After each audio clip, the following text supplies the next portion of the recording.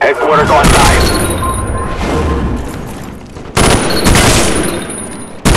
Spy plane ready for deployment. Spy plane standing by.